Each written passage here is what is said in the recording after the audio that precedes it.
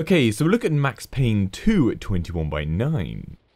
I loved Max Payne 3. It was my first introduction to the series, and I've played through it a lot of times. The gameplay is superb, the story gritty and well told, and the graphics are brilliant. It's a fantastic game. However, I've always heard people talk about the previous games and that they were superior somehow, so I finally have gotten around to play the second game, and whilst it's good, it doesn't hold a candle to the third game in any respect. However, it's still really good fun and holds up well after 15 years since its launch. Wow, I can't believe it's that old. But anyway, before I talk about the gameplay, let's go over the 21 by 9 support. So there is no native ultra-wide support, everything just gets stretched to fill the screen. However, thankfully there is a brilliantly easy mod by, I believe, UB Doble, but I'm not 100% sure on that. Thanks to whoever created it regardless, it's really appreciated. So to get the fix working, go to the link in the description and download the mod on the page. Once it's downloaded, unzip the file and go inside the Max Payne 2 widescreen fix folder so you can see the scripts in the .dll file. Then, in another Explorer window, navigate to Steam, Steam Apps, Common, and find the Max Payne 2 game folder. Go inside and drag over the downloaded two files into the game folder here, and now you can launch the game and gameplay will correctly scale to 21 by 9. However, the HUD will still be stuck at 16 by 9 as you can see in my gameplay, and yes, I'm afraid I only went and fixed the HUD to 21 by 9 after I recorded all this because I literally played and recorded everything in one sitting right away as I was just totally in the mood to play, so yeah, the HUD here is 16 by 9 however you can shift the HUD to the sides. To do this, you want to go back to the Max Payne 2 game folder within the Steam common folder and find the scripts folder. Open that up, and inside is a file called maxpayne2.widescreenfix.ini. Open it up in Notepad. Here is where you can change a load of settings, such as HUD positioning. Change the HUD value to 240, then save and close the file, and now your HUD will correctly display on the sides of the screen. Now, that 240 number works on my 3440 by 1440 screen, however the value might be different if you're at 2560 by 1080. Just play around with the number, close the game, change the number, save the file, reopen the game, and just see where the HUD is. However, even after all these tweaks, the game isn't perfect at 21 by 9. So, whilst the gameplay does now correctly render the world at 21 by 9, the very extremities of the screen will experience some weird freezing and blurring of objects as they fail to render correctly. It's only on the very extreme sides of the screen, so it's not really noticeable, but at times it can be more obvious than others. The main menu is 4x3 with black bars, however it does mean it's not distorted in any way, and a 4x3 to 21x9 stretch is a huge distortion, so whilst I would usually prefer it to stretch to fill the screen space, here I'm actually glad it's centered correctly. The same applies to in-game menus and the main cutscenes which are picture boards. In-game cutscenes, however, do correctly render at 21 by 9 and screen effects correctly fill the entire screen space. However, the scopes on guns like the MP5 and the sniper, this screen is stretched from 4x3 and fills the screen and it does look a bit ridiculous, but at least it works fine. Lastly, loaded screens are weirdly squashed into an even smaller than 4x3 space, but you're hardly looking at them for long. As for general PC support, there are a number of other issues, most specifically being that there is no native controller support. However, thankfully, there is a brilliantly easy fix for this.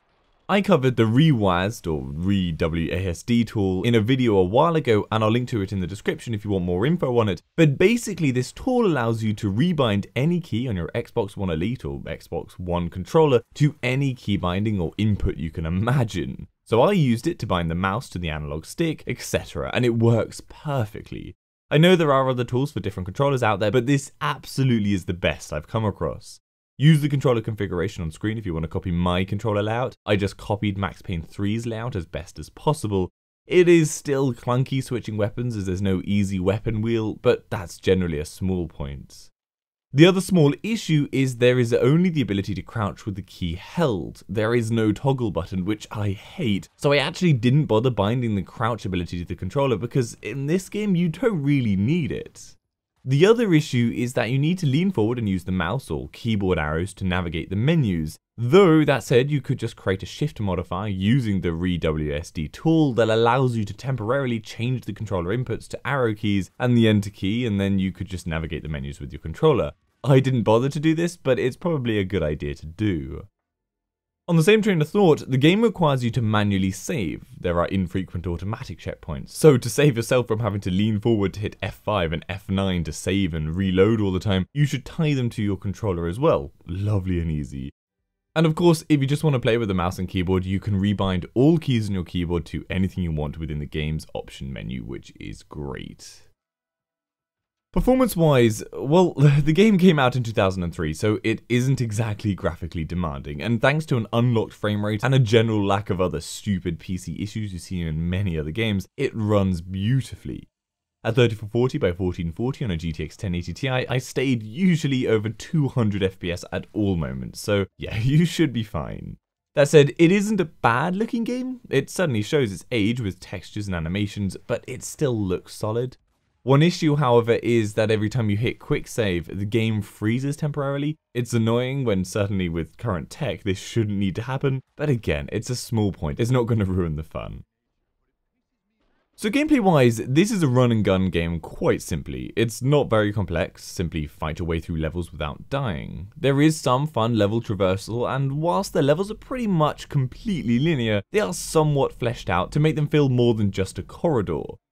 I have nothing against this kind of level design, as tightly built environments can bring fantastically solid gameplay. That said, this is in the middle ground. It's not perfect, but it's not bad at all.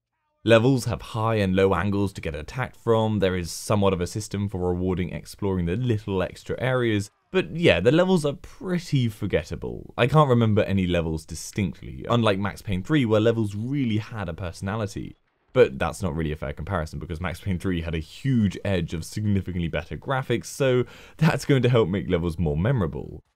What is key to Max Payne 2's fun though is the gunplay. As Max, you have an adrenaline meter which allows you to pull off his iconic slow-mo dives as you spray bullets into enemies, and it is just plain cool. You feel like you're out of something like The Matrix. It's superb. It turns what would be an okay shooter into a really fun one.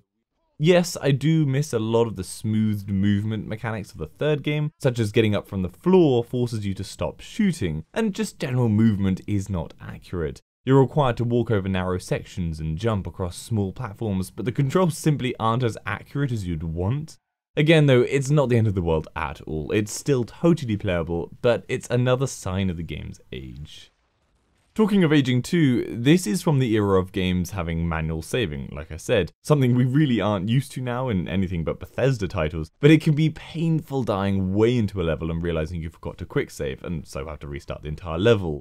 Saves do automatically occur after like a cutscene, but yeah, remember to hit that save button. There is also no automatic health regen. Instead, you have to use your painkillers, which you can find around the world, and they are generally well placed, usually just providing enough health to survive. I wasn't ever really overfilled with them, and when I ran out, it was just because I was being bad at avoiding unnecessary hits. You also don't have the ability to zoom in with your weapons, other than for scoped weapons. It would be great to have the option to zoom slightly and have your camera movement speed slow down to gain greater accuracy, but yeah, without it you sometimes will find small adjustments to aiming a little awkward. Voice acting is, to be honest, pretty abysmal. Max maintains the same gruff, toughened voice, but it lacks a quality edge to it, and the same can be said for all other voice acting. It's certainly noticeable and really does take away from the believability of the story, just your immersion factor is decreased because of it. Now a strange feature to the visuals is the way the game displays outside environments. See on screen what I mean. Somehow the world in the distance and the objects close by move in a very weird way, and I'm very glad you don't have to deal with this much, because it very quickly made my head spin a bit, as it really just doesn't work well. But yes, thankfully it's only in small doses, so you'll not be seeing this much. Now, a trait, unfortunately, this and the third Max Payne game experience is repetitiveness. This even more so. After a few hours, you simply aren't getting enough gameplay development. You aren't acquiring new skills or facing new challenges. It's just more enemies in different locations. It's not boring, but it does mean I advise playing for a few hours then leaving it for a while before continuing. Otherwise, you'll just simply get tired of the same style of level design throughout the entire game. There is a nice wide weapon selection to use with pistols either in single or dual wield, and you have assault weapons and SMGs, and every weapon does feel distinctly different and not just stuck in for no reason. However, I certainly felt the M4 got way underused most of the game. You can easily mod this game as well, with native built-in support to the game launcher for playing modded versions. Overall, whilst not a perfect game by any means, with slightly repetitive gameplay and an aging aesthetic to all aspects, it's still a damned fun game, it's a great way to feel like an action hero. Diving through the air in slow motion killing enemies is always a badass feeling. And I totally recommend picking this up if you've played Max Payne 3 and want more but don't want to replay the third game again. If you haven't already played the third, however, play that first, then come to this. You can also pick this up for very cheap, so that certainly makes it more worthwhile.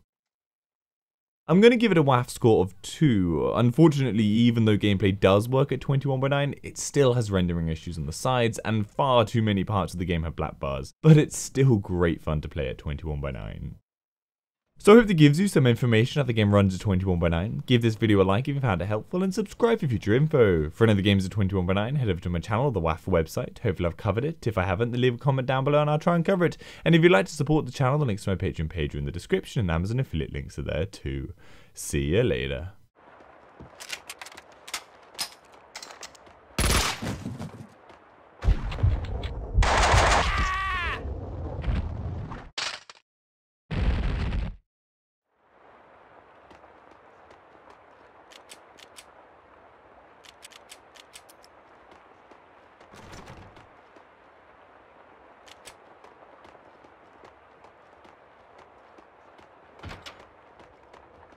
Whack him!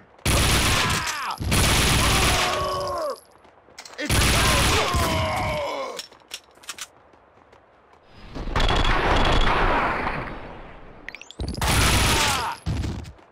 You understand, this is an over our dead bodies kind of situation. We've got an intruder, probably more than one. None of them's getting past this